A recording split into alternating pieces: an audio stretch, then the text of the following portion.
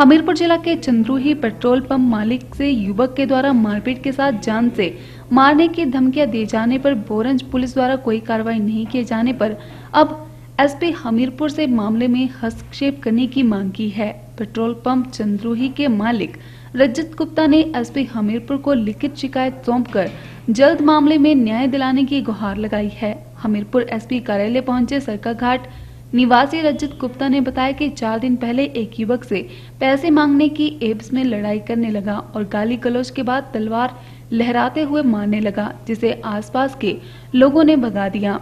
उन्होंने मांग करते हुए कहा कि इस मामले में अभी भोरंज पुलिस ने कोई कार्रवाई नहीं की है और जल्द पुलिस आरोपी युवक को पकड़कर आगामी कार्रवाई अमल में लाए। रजित गुप्ता ने बताया कि भोरंज के रहने वाले एक युवक ने पेट्रोल डलवाने की एप्स में पैसे नहीं दिए जाते थे और जब पैसों को मांगा गया तो युवक ने तलवार निकालकर मारने की धमकी दी, जिसकी शिकायत भोरंज पुलिस थाना में भी दर्ज है। लेकिन चार दिन बीत जाने पर भी पुलिस ने कोई कार्रवाई नहीं की है, जिससे हर वक्त जान का खतरा बना हुआ है। उन्होंने पुलिस से मांग करते हुए कहा कि जल्द इस मामले में पुलिस आगामी कार्रवाई अमल में लाए।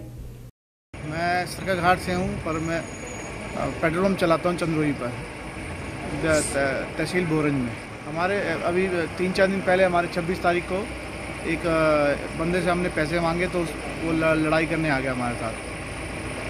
और वो तलवार तलवार लेके आ गया लड़ाई करने के लिए। मतलब काफ़ी गाली गलोच दिया उसने, फिर बाद में तल तलवार तलवार लेके आ गया हमारे पास। फिर मेरे को तेज़ाब फेंकने की धमकी भी दे के, तेरे मुँह पे तेज़ाब फेंकेंगे हम चाहते हैं कि पुलिस जल्द जल्द कार्रवाई करे और हमें प्रोटेक्शन दे हमें और हमारे एम्प्लॉयज़ को।